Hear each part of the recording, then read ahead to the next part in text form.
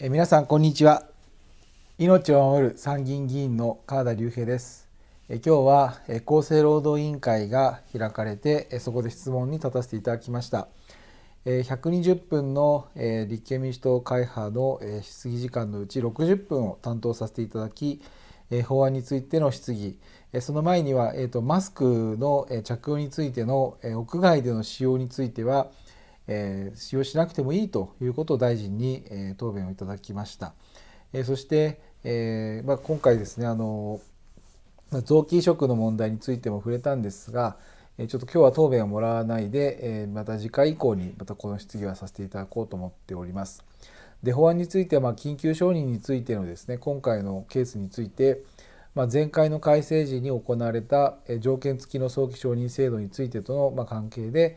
特にこの緊急承認制度については、え有効性についてはこの推定になるということでそういった観点で、まあ、特にその、まあ、前回の改正と合わせてですね今回の改正についての確認をさせていただきましたそしてその後その後この今コロナウイルスのワクチン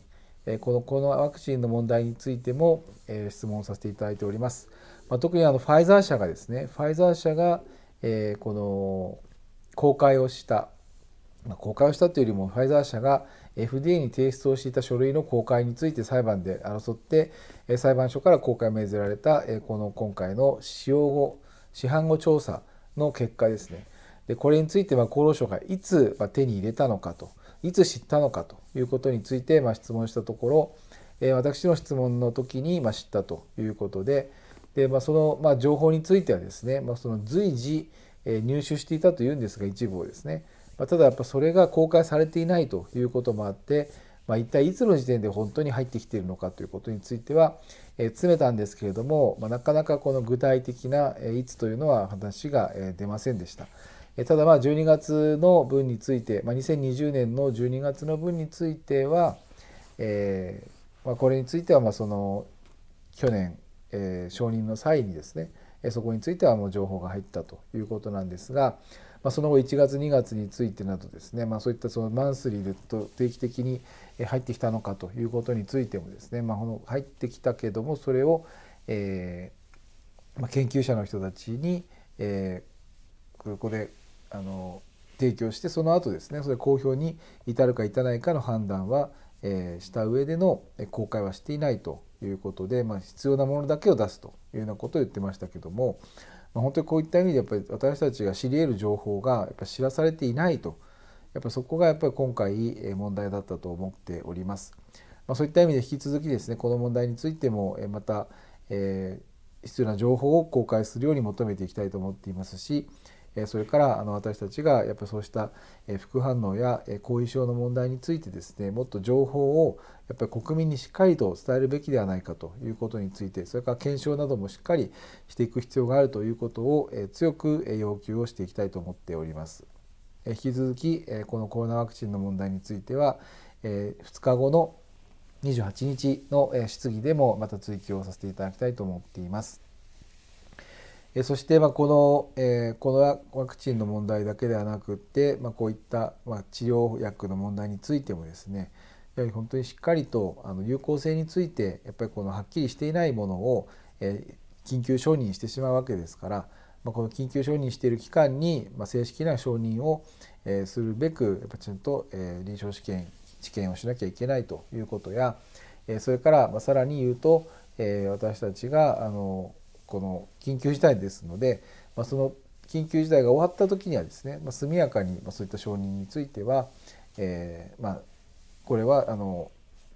取り下げるというようなことも取り消すというようなこともやっぱり必要になってくるということについてもやっぱ具体的にやっぱちゃんとこれから、えー、確認していかなきゃいけないところだというふうに思っております。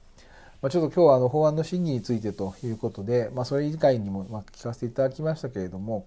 やっぱりこの法案の審議まだまだあの時間をかけてやらなければいけないところがあると思ってますので、え来週にはあの参考人質疑もあって、まあ、その後総理入りの質疑まだ日程は決まってませんけれども総理入りの質疑そしてまあこの質疑の後あとですね、まあ、この予定ではまあ衆議院と同じくやっていくということであれば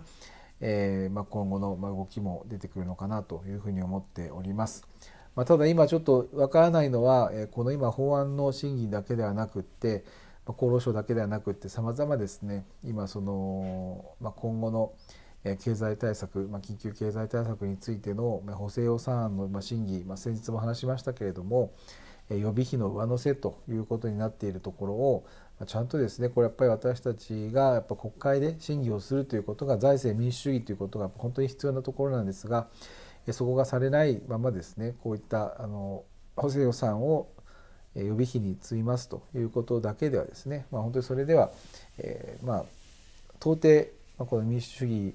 を、え、しっかりやっていると言えないので本当にその議論をする場をちゃんと作らなきゃいけないと思いますのでそういったことの追及のためには委員会の審議を止めることなども出てくるかもしれないというところで、まあ、しっかりとこの件についてはまた引き続き国体とも相談してやっていくことになると思います。そういった意味で、まあ、本当にこの、まあ、国会運営というのはですね、まあ、そういったいろんな不確定な要素によって、まあ、国会審議が途中ストップすることもありますので、まあ、ぜひその辺もま注目していただきながらまたこの国会の方についての